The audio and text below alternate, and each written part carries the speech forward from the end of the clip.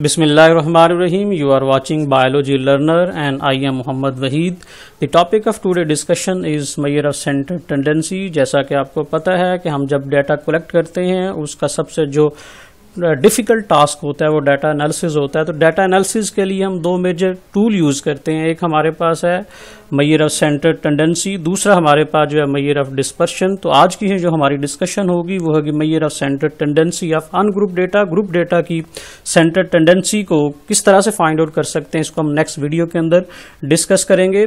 तो आज हम देखेंगे वो कौन कौन से टूल्स हैं जिन टूल्स को यूज़ करते हुए सेंटर टेंडेंसी को फाइंड आउट किया जा सकता है। फिर हम उन टूल्स की जो प्रॉपर्टीज़ हैं, उनको भी डिस्कस करेंगे कि what are the properties of that particular tools that are use to find out the centre tendency of the data तो इसके अंदर हमारी जो डिस्कशन है जी, वो होगी सबसे पहले हम देखते हैं कि आज हम क्या क्या डिस्कस करेंगे मैयर ऑफ़ सेंटर टेंडेंसी के अंदर। तो सबसे पहले हमारी जो डिस्कशन होगी वो स्टैटिस्टिक एंड पैरामीटर पे होगी, क्योंकि आपको पता है कि हम बायोस्टैटिस्टिक्स या स्टैटिस्टिक्स के अंदर सैंपल और पॉपुलेशन की टर्म जो है वो बहुत ज़्यादा यूज़ करते हैं। तो उस रेफरेंस से हम देखेंगे स्टैटिस्टिक्स और पैरामीटर क्या हैं। उसके बाद हम देखेंगे what are the methods to find out the may centre tendency of the data तो हमारे पास थ्री मेजर मेथड्स हैं जिनके थ्रू हम फाइंड आउट कर सकते हैं। First one is the average and mean average या मीन भी हमारे पास तीन तरह का हो सकता है। एक तो सबसे ज़्यादा कैलकुलेट आप करते हैं, वो है हमारे पास अरिथमेटिक मीन दूसरा हम हार्मोनिक मीन तीसरा हमारे पास है जियोमेट्रिक मीन उसके बाद हम सेकंड मेथड को डिस्कस करेंगे, जो कि हमारे पास मोड है। फिर हम लास्ट मेथड को डिस्कस करेंगे सेंटर टेंडेंसी के, जो कि हमारे पास मीडियन है। तो सबसे पहले हम मूव करते हैं स्टैटिस्टिक्स एंड पैरामीटर क्या होते हैं? स्टैटिस्टिक बेसिकली क्या है? It is a descriptive measure computed from this sample of data कि अगर आपके पास एक पॉपुलेशन है, उस पॉपुलेशन में से आपने एक सैंपल लिया है, उस सैंपल की आप एवरेज निकाल रहे हैं मॉड निकाल रहे हैं मीडियन निकाल रहे हैं स्टैंडर्ड एरर निकाल रहे हैं। मीन कोई भी जो आप स्टैटिस्टिक है वो निकाल रहे हैं तो उसके लिए हम क्या वर्ड यूज़ करते हैं? स्टैटिस्टिक्स यूज़ करते हैं स्पेशली जब हमारा जो, हमारी जो वर्किंग है वो सिर्फ़ एक सैंपल के ऊपर हो रही होती है। What is parameter it is a descriptive measure computed from the data of entire population के हमारे, हमने, हमारे पास जितने भी ह्यूज फॉर्म के अंदर डाटा है जो कि पॉपुलेशन कहलाएगा। अगर हम उसका मीन निकाल रहे हैं, मॉड निकाल रहे हैं, या उसका मीडियन निकाल रहे हैं तो उसको हम कहेंगे कि ये पैरामीटर है। मीन के जब आप सैंपल की कैलकुलेशन कर रहे हैं तो उसका हमारे पास कोई कंक्लूजन आता है तो स्टैटिस्टिक्स है। अगर पॉपुलेशन का ले रहे हैं तो हमारे पास पैरामीटर होगा। तो since it is difficult to measure a parameter from from the population a sample is drawn of size and whose values are हमारे पास एक्स वन एक्स टू या एक्स मल्टीपल वैल्यूज़ हो सकती हैं। समटाइम हमारे पास पॉपुलेशन साइज़ इतना बड़ा होता है कि हमारे लिए मुश्किल हो जाता है कि हम क्या करें, उस सारे पॉपुलेशन को कवर अप करें। तो हम क्या करते हैं, हम एक उस पॉपुलेशन के एस्टिमेशन के लिए उसमें सैंपल ले लेते हैं, उन सैंपल के ऊपर हम अपनी वर्किंग करते हैं। और वो जो वर्किंग है, वो जो पैरा वो जो हम टूल यूज़ कर रहे होते हैं, उनको हम स्टैटिस्टिक का नाम देते हैं। फॉर एग्ज़ाम्पल हमारे पास, अगर आप देखें कि हमारे पास ये राइट right साइड के ऊपर ये पूरी पॉपुलेशन है, अगर हमारे पास एक ये मुश्किल टास्क है पूरी पॉपुलेशन का हम मीन निकाल पॉपुलेशन मीन निकाल तो हम क्या करते हैं, इसमें से हम एक सैंपल ले लेते हैं सैंपल ऑफ़ सिक्स वैल्यूज़ और सिक्स इंडिविजुअल तो ये हमारे पास इसका जो मीन आएगा वो स्टैटिस्टिक आएगा और इसका जो मीन आएगा वह पॉपुलेशन मीन कहलाता है। उसके बाद हम डिस्कस करेंगे what is the definition of measure of centre tendency तो इसको हम बेसिकली डिफाइन करते हैं कि ये बेसिकली हमारे पास है क्या? A measure of centre tendency also refer to as measures of centre or measure of location तो हम सेंटर टेंडेंसी को मैयर ऑफ़ सेंटर भी कहते हैं मैयर ऑफ़ सेंटर लोकेशन का नाम भी दे रहे होते हैं, ये बेसिकली क्या है? It is a summary measure that attempt to describe a whole set of data with a single value that represents the middle or center of its distribution. Mean आपके पास जितना भी डेटा है, उस डेटे को डिस्क्राइब करने के लिए जो हम एक वैल्यू लेते हैं, वो समवेयर वो समवेयर मिडल में फॉल कर रही होती है। तो वो जो वैल्यू होती है, उसके हम बेसिकली सेंट्रल वैल्यू का नाम देते हैं तो उसके सेंट्रल टेंडेंसी का नाम देते हैं। फॉर एग्जांपल अगर आप इस डायाग्राम को ज़रा गौर से देखें तो ये हमारे पास एक ग्राफ है जो बेसिकली किसका है? डेटे का है। तो इस डेटे का जो सेंटर है वो हमारे पास ये है तो इस सेंटर को फाइंड आउट करने के लिए हम मीन को भी यूज़ कर सकते हैं मीडियन को भी यूज़ कर सकते हैं मॉड को भी यूज़ कर सकते हैं। तो ज़रूरी नहीं कि बेसिकली एक ही पॉइंट पे सेंटर में आए थोड़ी सी वेरिएशन आ सकती है थोड़े से आगे पीछे हो सकते हैं, लेकिन समवेयर सेंटर में ये फॉल करते हैं। तो सबसे पहले हम फ़र्स्ट मेथड डिस्कस करेंगे रिथमेटिक मीन ये बेसिकली है क्या? It is the value obtained by the sum of all the values are variable and divided by number of observation के जितने भी आपके पास डेटा है, उस सबको आप प्लस करके नंबर ऑफ़ ऑब्जर्वेशन के ऊपर डिवाइड कर दें तो हमारे पास अरिथमेटिक मीन आ जाता है। ये तो if we compute the mean of population we call it the parameter उसे पैरामेट्रिक कहेंगे या पॉपुलेशन मीन कहेंगे तो इसको हम डिनोट करते हैं म्यू से। लेकिन अगर हमारे पास सैंपल है और सैंपल का एक मीन निकाल रहे हैं तो उसको हम म्यू से डोनेट नहीं करेंगे। उसको हम किससे करते हैं? एक्स बार से जो है वो डोनेट कर रहे होते हैं। तो ये मेजर डिफरेंस है between the symbol of mean of population and mean of sample तो arithmetic mean basically population mean जिसको हम म्यू से करते हैं तो विच इज़ हम, अगर हमारे पास लार्ज साइज़ के अंदर डेटा है तो हमारे पास नॉर्मली अननोन होता है तो then we use the sample mean to estimate approximate it तो हमारे पास सैंपल मीन को एक्स बार से हम रिप्रेजेंट करते हैं तो इसको हम क्या करते हैं? ये कैलकुलेट हम करते हैं to estimate the mean of a population तो ये हमारे पास फार्मूला है, अगर आप नियम देखें, ये हमारे पास पॉपुलेशन मीन का फार्मूला है, जो कि जिसको हम डिनोट करते हैं म्यू से। तो ये हमारे पास बेसिकली क्या है? Summation N N stand for number of items और number of observation in the population तो हमारे पास एक्स आई है, ये बेसिकली नंबर ऑफ़ ऑब्जर्वेशन है पॉपुलेशन के अंदर कि हमारे पास फ़र्स्ट ऑब्जर्वेशन है सेकंड ऑब्जर्वेशन है थर्ड ऑब्जर्वेशन है, उसको टोटल ओवर हम डिवाइड कर देते हैं नंबर ऑफ़ आइटम्स और ऑब्जर्वेशन इन दी पॉपुलेशन तो हमारे पास ये पॉपुलेशन मीन आ जाता है। इसी तरह अगर हम इसको देखें एक्स बार ये हमारे पास सैंपल का मीन है, इसको हम सुमेशन एन एक्स आई और एन से रिप्रेजेंट करते हैं। यहाँ पे जो स्मॉल एन है, ये बेसिकल नंबर ऑफ़ ऑब्जर्वेशन बता रहे हैं हमें एक सैंपल की। तो एग्ज़ाम्पल हम किस तरह से एक अरिथमेटिक मीन की हम एग्ज़ाम्पल ले लेते हैं। फॉर एग्ज़ाम्पल हमारे पास एक सैंपल साइज़ है ऑफ़ टेन जिसके अंदर हम एजिस बता रहे हैं। फॉर एग्जांपल हमारे पास ये सैंपल साइज़ है, जिसमें हम फ़र्स्ट इंडिविजुअल की जो एज है 42 है सेकंड की 28 है 28 61 तो इस तरह हम देखते हैं, अब हम इसका बेसिकली मीन निकालना चाह रहे हैं मीन अरिथमेटिक मीन निकालना चाह रहे हैं सैंपल तो हम क्या करते हैं, इन सब की जो वैल्यूज़ हैं, इन वैल्यूज़ को हम प्लस करेंगे और नंबर ऑफ़ ऑब्जर्वेशन जो कि कितनी है टेन पे डिवाइड कर देंगे। हमारे पास जो आंसर आएगा, जो मीन आएगा, वो थर्टी सिक्स पॉइंट सिक्स आता है। तो इसी तरह हमारे पास जियोमेट्रिक मीन है एक सेकंड मेथड है एवरेज को फाइंड आउट करने का तो इसको हम डिफाइन किस तरह से कर सकते हैं। A geometric mean is a mean or average which shows the central tendency of a set of numbers by using product of their values. तो बेसिकली क्या है, हम किस तरह से for a set of observation geometric mean is the nth root of their product mean कि इसकी definition हम किस तरह से कर सकते हैं कि हमारे पास बेसिकली जियोमेट्रिक जो मीन है it is the nth root of their product जितनी भी ऑब्जर्वेशन उसकी प्रोडक्ट ले लेंगे तो हमारे पास क्या आ जाएगा? जियोमेट्रिक मीन आ जाएगा। फॉर एग्ज़ाम्पल ये जियोमेट्रिक मीन है फॉर सेट ऑफ़ नंबर्स हमारे पास नंबर्स के हैं? एक्स वन एक्स टू है। मल्टीपल नंबर्स हैं। फॉर एग्जांपल हम जियोमेट्रिक मीन को इस तरह भी निकाल सकते हैं कि जियोमेट्रिक मीन ऑब्जर्वेशन वन है, या वैल्यू वन वैल्यू टू और एन वैल्यू टोटल वैल्यू को हम मल्टीप्लाई करते हैं और वन ओवर एन इसका हम पावर ले लेते हैं तो इसका भी आंसर आ जाएगा। या हम इसका सिंपल जो है वो रूट ले लेते हैं। अगर मल्टीपल वैल्यूज़ हैं फाइव वैल्यूज़ हैं तो यहाँ पे फाइव आ जाएगा। अगर टू वैल्यूज़ हैं तो यहाँ पे कोई वैल्यू नहीं आएगी, क्योंकि हमारे पास ऑलरेडी हम यहाँ पे टू कंसिडर कर रहे होते हैं। जब यहाँ पर कोई वैल्यू नहीं तो टू कंसिडर होता है यहाँ पे। तो अगर हम ये एग्ज़ाम्पल है जी हमारे पास consider the data for example four seven eight ten twenty इसका हम ज्योमेट्रिक मीन निकालना चाह रहे हैं तो हमारे पास one two three four five values हैं तो हमने यहाँ पे बेसिकली फाइव पुट किया है तो इनको मल्टीप्लाई करेंगे तो इसका हम बेसिकली एंथ रूट लेंगे तो हमारे पास जो वैल्यू आ जाएगी 8.51 आ जाएगी, ये हमारे पास जियोमेट्रिक मीन होगा।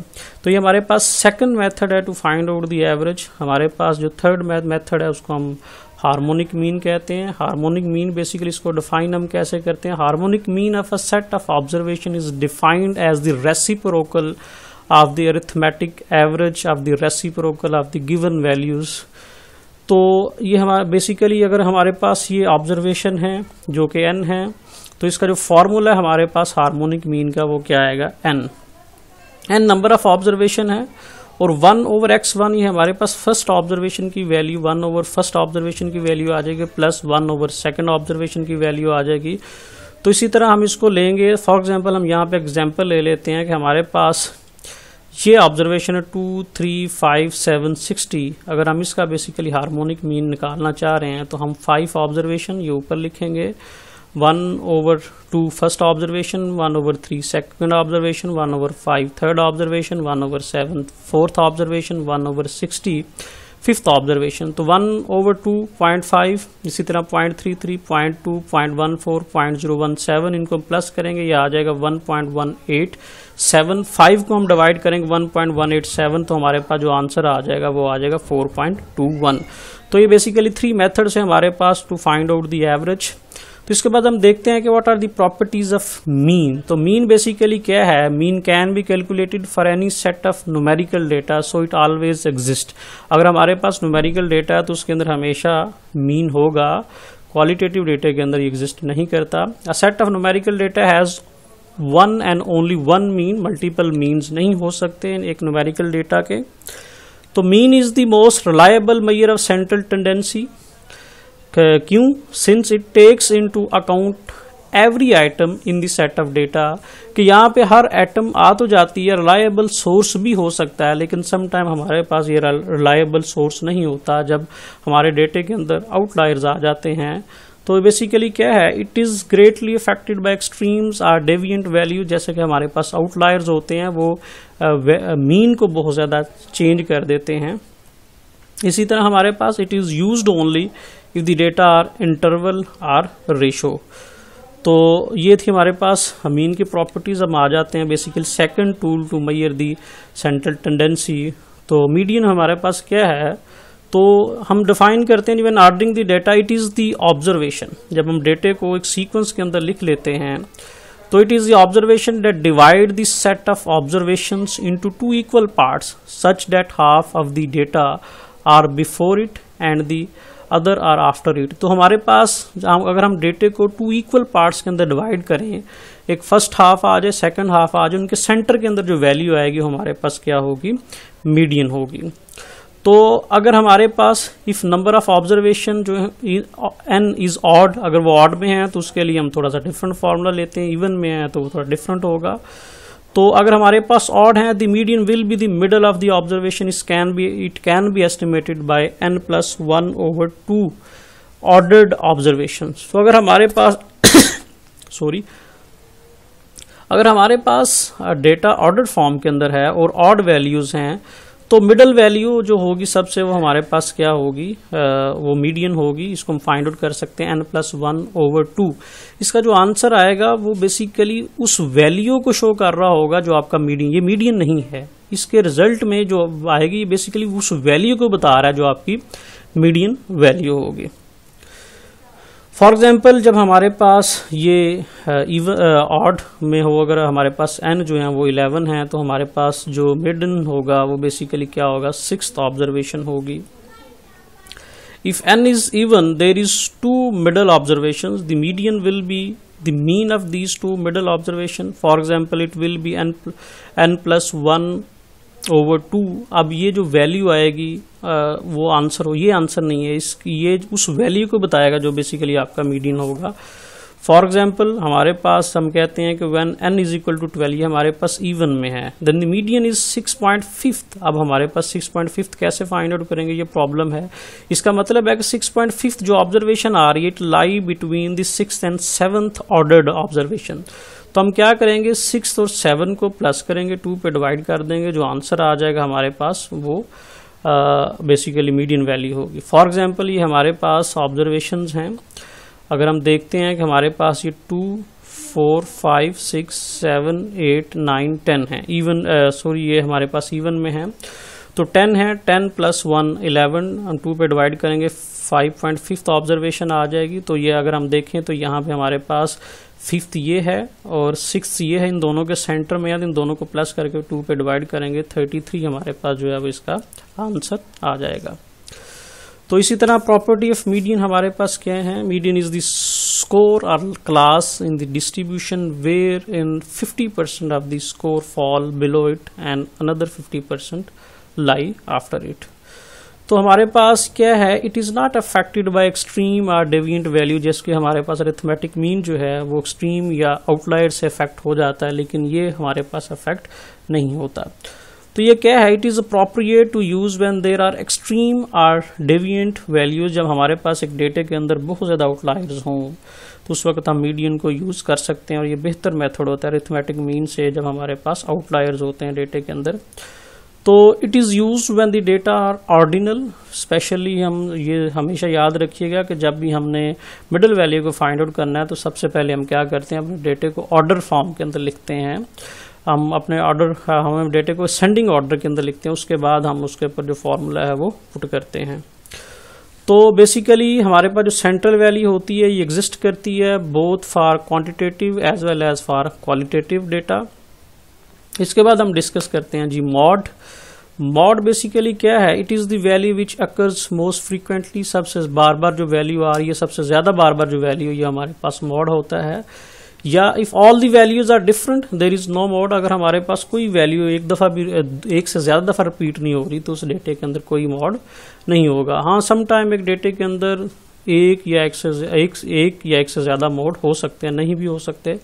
फॉर एग्ज़ाम्पल हमारे पास ये एक सैंपल है 23, 28, 28, 31, 32, 34, 37, 42, 50, 61 तो इस डेटे के अंदर हमारे पास जो मॉड होगा वो बेसिकली क्या है कि 28 जो है वो दो दफ़ा रिपीट हो रहा है तो 28 होगा। अगर 28 तीन दफ़ा हो तो ये तीन दफ़ा रिपीट होगा।